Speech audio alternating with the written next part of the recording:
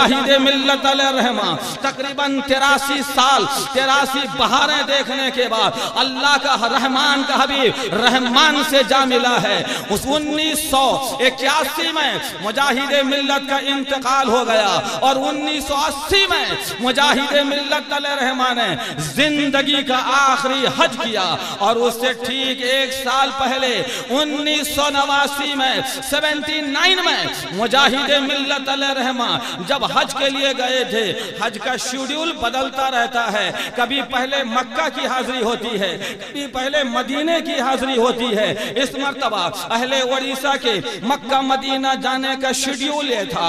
پہلے اہل وریسہ مکہ مدینہ شریف میں حاضری دیے، پھر اس کے بعد مکہ پہنچے ہیں۔ میں عرض کرنا چاہوں گا، آج اس سال اس سال جن لوگوں نے، وریسہ کے لوگوں نے جو پہلے مدینہ شریف میں حاضری دی، پھر اس کے بعد مکہ شریف میں انہوں نے حاضری دی، بالکل یہی یہی حال۔ انیس سو سیونٹی نائن میں جب مجاہد ملت گئے تھے، تو حج کا یہی شیڈیول تھا۔ مکہ بعد میں جانا تھا، حج بعد میں کرنا تھا، طواف کعبہ بعد میں کرنا تھا، زمزم بعد میں پینا تھا، صفا مروہ کی صحیح بعد میں کرنی تھی کعبہ بعد میں دیکھنا تھا۔ پہلے کعبہ کے کعبہ، مصطفیٰ جانے رحمت کی بارگاہ کی حاضری تھی۔ مجاہد ملت چلے۔ آپ کے دھام نگر سے چلے، آپ کے وطن سے چلے، آپ کے شہر وفا سے چلے۔ مدینہ شریف، بارگاہ رسول میں آپ نے حاضری دی۔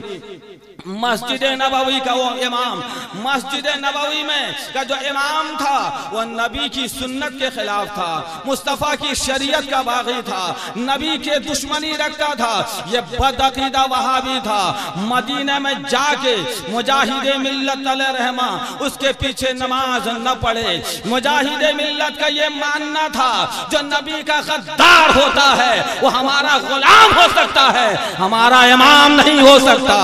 مجاہد ملت علیہ رحمہ کبھی کسی وقت زندگی میں، کبھی آپ نے کسی بد مذہب امام کے پیچھے آپ نے اقتدا نہیں کی ہے۔ مدینے میں جا کے، مدینے کی مسجد مسجد نبوی میں اس کے امام کے پیچھے جب آپ نے نماز نہ پڑھی، ایسے میں بد عقیدہ آپ کے پیچھے لگ گئے۔ مجاہد ملت کو پکڑا، پھر یہ بھی عالم رہا کرتا تھا۔ مجاہد ملت مسجد نبوی کی پہلی سب میں جا کے بیٹھ جاتے۔ جب جماعت کھڑی ہوتی تو آپ صفوں کو چیرتے ہوئے باہر نکلتے تھے۔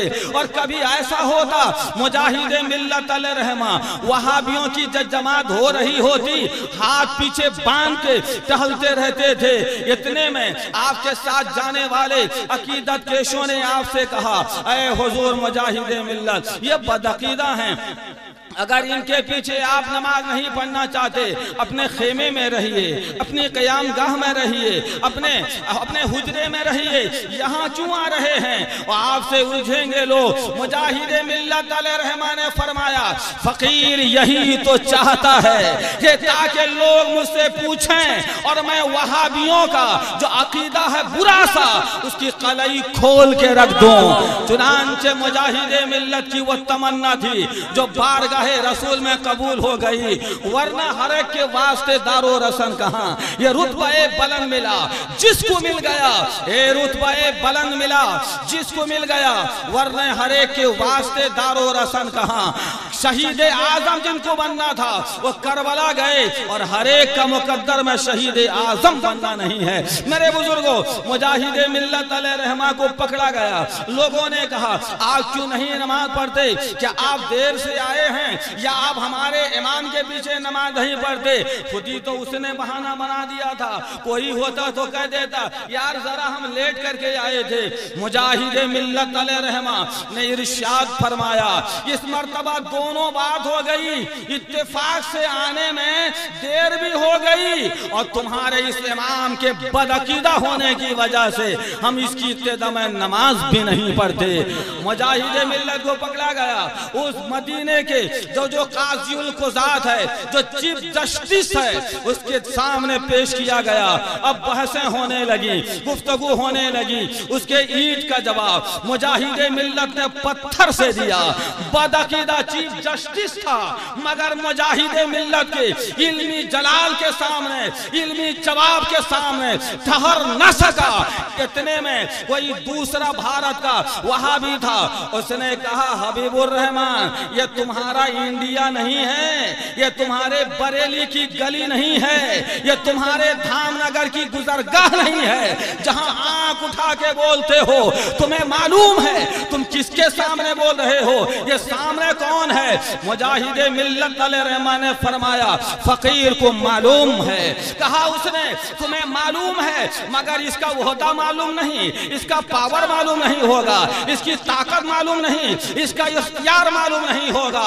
حضور مجاہد ملت نے نے فرمایا ہاں اس کا اختیار و پاور بھی معلوم ہے یہ چاہے گا تو گولی کر کے حبیب الرحمن کا سینہ چھلنی کر سکتا ہے یہ چاہے گا دو سوری کے تختے پہ چڑھا بھی سکتا ہے اور یہ چاہے گا آگ میں حبیب الرحمان کو جلا بھی سکتا ہے۔ مگر حبیب الرحمان کا ایسا مقدر کہاں کہ مدینے کی آگ ہو۔